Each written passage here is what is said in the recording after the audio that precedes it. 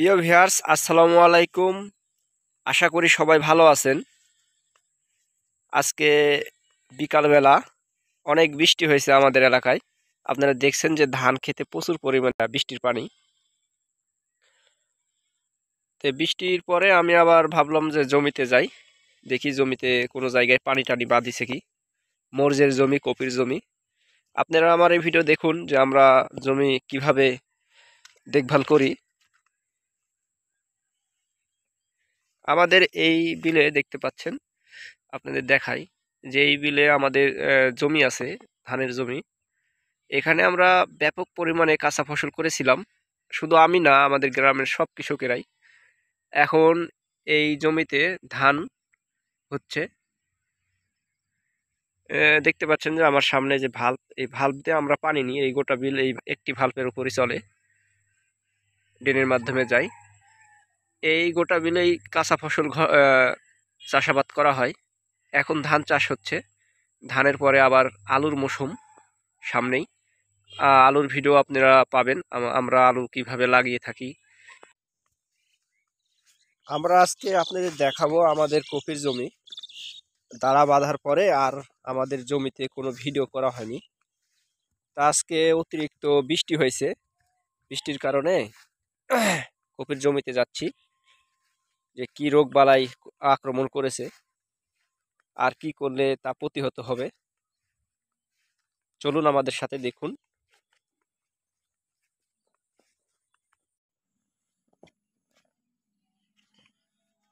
পিয়াস এটা আমাদের কপির জমি। কপির ভিডিও আমরা এর আগেও দিয়েছি, দাঁড়া বাঁধার ভিডিও দিয়েছি, চারা তোলা ভিডিও দিয়েছি। আজকে আমাদের গ্রামে ব্যাপক পরিমাণে বৃষ্টি হয়েছে আমাদের এই অঞ্চলে।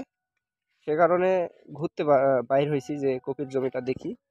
যে কপির জমিতে আপনারা যারা আগুর কপি করেছেন অবশ্যই একটু মাথায় মানে খেয়াল করবে, খেয়াল রাখবেন মাথায়।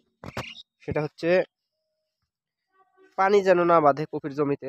যদি পানি বাঁধে তাহলে কপিতে পোষানি লাগবে। আমাদের কপিতে পোষানি লেগেছে। সাথে আপনাদের দেখাবো যে আমাদের কপিতে কিছু পোষানি লেগেছে। আগাম কিছু পোষা নিয়ে এসেছে, আমাদের লেগেছে কপিতে লেগেছে আমরা। এর প্রতিরোধের জন্য বিষ ব্যবহার করছি। তার আগে কপির জমিটা আপনাদের ঘুরিয়ে দেখাচ্ছি যে, আমাদের কপির জমির বয়স হচ্ছে এখন একত্রিশ দিন। একত্রিশ দিন বয়স হলো। আপনাদের দেখাবো এখন পোষানি এই যে এই যে দেখতে পাচ্ছেন যে, জায়গায় জায়গায় এই যে, মাথা খেয়ে নিয়েছে এই পোষানি এটা হচ্ছে পোকা। পোকা মানে ভিতর দিয়ে আমরা বুঝতে পারিনি, ভিতর থেকে আক্রমণ করে এই পোষানি লেগেছে বৃষ্টির টাইমে আমরা এর জন্য প্রতিহতর জন্য বীজ দিচ্ছি সিনেটার গ্রুপের বীজ দিচ্ছি।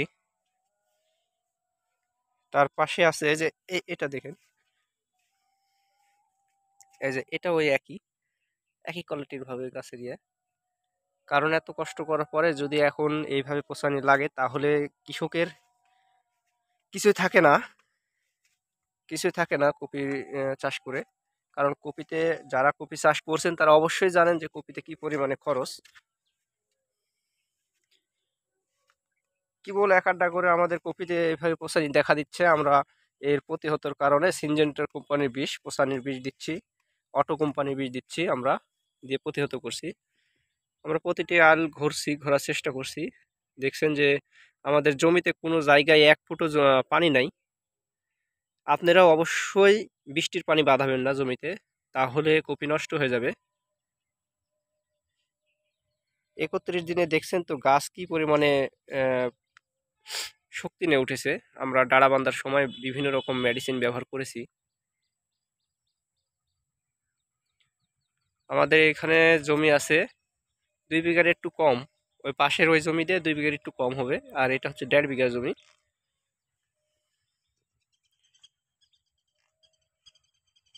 আমরা এই কপির চারা লাগিয়েছি একটু ঘন করে। কারণ আছে সেটা হচ্ছে আগুর কপি।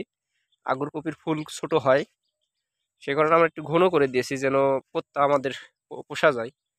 আর এখন যারা কপি করছেন বা লাগাচ্ছেন, তারা অবশ্যই একটু পাতলা করবেন। কারণ এখনকার কপি সব বড় হবে।